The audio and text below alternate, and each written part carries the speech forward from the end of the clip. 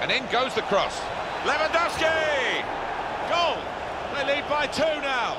Took the chance nicely, and that really has given them much more of a basis for the rest of this match.